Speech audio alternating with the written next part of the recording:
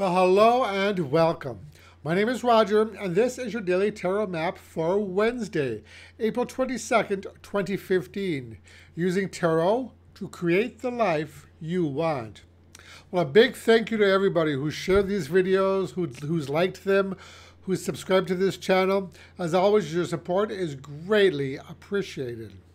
So this week, we continue our work with the Tarot of the Masters, created by James Ricklef. And the three cards drawn today were the Knight of Cups, the Ace of Coins, and Strength. So the romantic Knight of Cups appears in our first position today. Now this is someone who awakens the heart to passion and longing and stirs those passions to life. He's often referred to as the dreamer because oftentimes he's introspective and imaginative. Now this might be a call for you to listen to those dreams. What are they telling you? Is there something you'd like to do in your life? A path you'd like to follow? Now, however, we don't want to stay in this dream state forever. Uh, at some point, we need to put one foot in front of the other and take the first step into bringing our dreams into fruition, as we see illustrated with our second card, the Ace of Coins. Now, when you want to turn those dreams into cash, then you have to do the work to bring them alive. This card is telling you that it's time to get out of the dream world and plant your feet firmly on the ground, taking one step at a time. This card suggests that there is great potential and opportunities for your dreams as long as you do the work towards making them happen.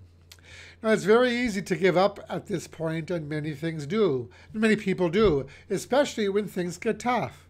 But if you want to see it through, you'll need strength to keep on the path. As illustrated by our last card, strength. Now, this is a card of patience and diligence, of uh, continuing forward in spite of any obstacles that you might be facing. Now, I've said this before. There are a lot of unfinished books, half written plays, or partially thought out ideas for businesses out there. But it is only through strength of character, courage, willpower, and uh, self belief that you can bring those dreams into reality. So today's message from these three cards is It's not a big deal to have lofty dreams, but it is a big deal to respond to them.